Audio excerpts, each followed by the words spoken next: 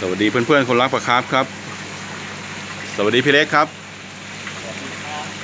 พี่เล็กวันนี้เข้ามาเยี่ยมลูกสาวอยู่แล้วนะครับพวงกุลายเลื้อยครับนิสัยอยู่ในนี้นะครับปลาพี่เล็ก เมื่อสักครู่เราก่อนจะทำคลิปเนี่ย เราโยนข้าวกันไปพักหนึ่งนะครับ ขึ้นมาแย่งกันกินหน้าดู พอตอนทำคลิปน่าจะอิ่มแล้วพี่เล็ก น่าจะอิ่มแล้ว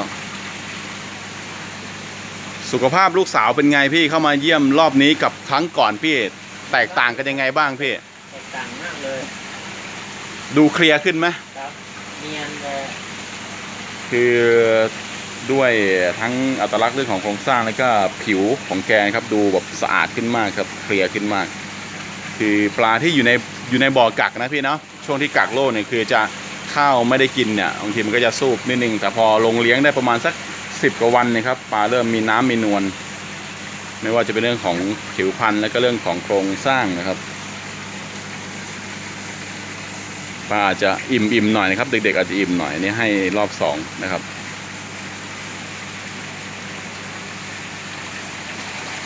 เดี๋ยวเรามีโปรเจกต์มินิเล็กๆ กับลูกสาวพี่เล็กนะครับ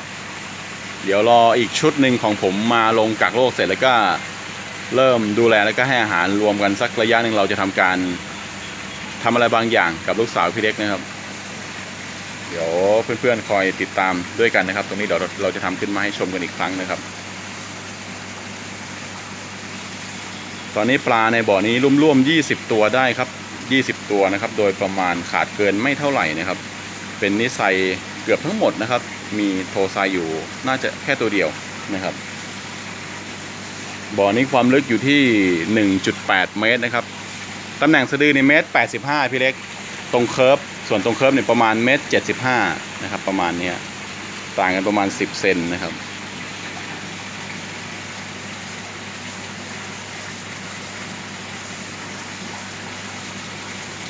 ขึ้นมาบ้างหรือยังพี่รอบสองในลูกสาวพี่ขึ้นมาบ้างหรือยังเนี่ย ขึ้นขึ้นขึ้นมาแล้วนะ อ่าถ้าเพื่อนๆมองเห็นนะครับ ถ้าผมจำไม่ผิดน่าจะเป็นลายเลื้อยนะครับ เป็นลายเลื้อยของพี่เล็กขนาดประมาณ 47เซนได้ 45ถึง47เซนประมาณนี้นะครับนี่ไงอ่านู่นไงนู่นไงโคอากุนะครับ ลายเลื้อยอยู่ใต้น้ำตกนะครับน่ะโผล่ขึ้นมากินข้าวนะครับ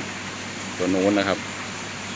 ผิวเคลียร์นะพี่เนาะแล้วก็แล้วก็ขาวมากอ่าขาวขึ้นมากแล้วก็เขาเขาดูเรียบร้อยขึ้นเยอะครับ ดูสะอาดขึ้น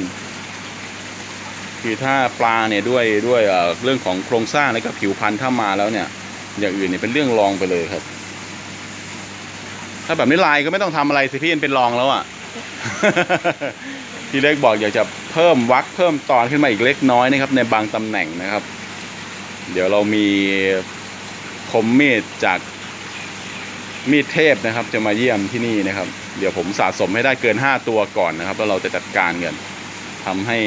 สวยงามนะครับทำให้สวยงาม คลิปดีๆ ครับที่ฟาร์มปลาครับเล็ก ๆ ที่ระยองนะครับ ขอบคุณพี่เล็กมากพี่ ขอบคุณมากครับพี่ครับ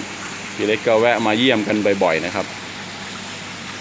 ขอบคุณเพื่อนๆคนรักปลาครับครับ ขอบคุณครับ